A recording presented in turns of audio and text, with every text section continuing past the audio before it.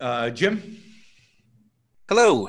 Um, I, uh, some months back, maybe half a year back or so, I found myself studying gold as a currency and ways in which one can hold gold. And I found that there are there are banks which specialize in allowing people to have uh, gold reserves, essentially private gold reserves.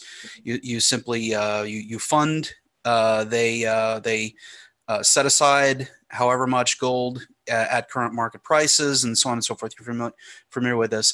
Um, and I was intrigued by the idea. They were proposing the idea that over time one might be able to uh, start paying debts to various institutions uh, denominated directly in gold in the future, that they had some regulatory hoops to get through. But what do you think about this idea of doing an end run around gold backed currencies using electronic gold, if you will?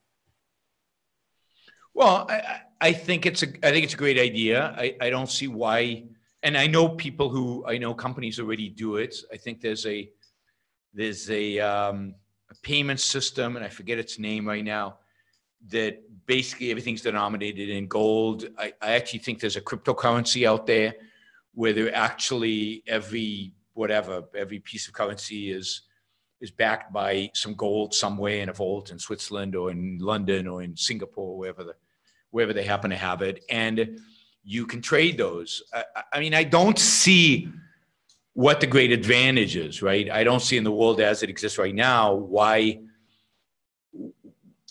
because it's so small and, and, and it's dominated by now if facebook for example and i talked about this when i did the show on libra if it launched libra if, if it launched a cryptocurrency with facebook and if it could get amazon behind it if it could get somebody like that and then and it was gold backed let's say then that would that could really have an impact because then you're talking about massive volumes um, you would uh, you would store the gold somewhere. You'd have a, a gold reserve somewhere. Uh, so people would, I guess, people would buy the um, buy the cryptocurrency with dollars, but then the cryptocurrency would be denominated in grams of gold, and then people could exchange that and would have a relatively stable value. Although the, the value of gold vis-a-vis the dollar fluctuates as well, and you know, and that could change people's attitudes towards gold. It still won't change the fact that the monetary system is dictated by the Federal Reserve and dictated by central banks.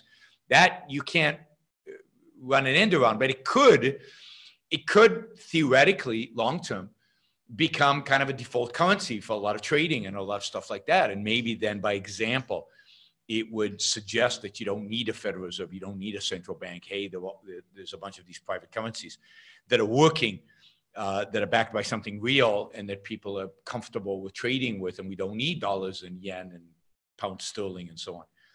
Um, but I don't see any private company doing that. The alternative also is for a, con- a country like China to go on a gold standard, or uh, you know, so significant, large economy to go on a gold standard, and again, model by example what could be, and uh, and and in a sense, that would be the way to replace the dollar as the gold as the global currency. If you could, in a, if you could, in a uh, in a way that people believed, uh, convert your currency into gold-backed currency. Let's say if China did it, and people believed that they wouldn't cheat, then um, then you could replace the dollar as the world reserve currency, and and that could be that could be significant. But I don't see anybody doing it. I don't see China doing it. I don't see the U.S. doing it. I don't see I don't see the euro going there. Those are the three currencies that could do it.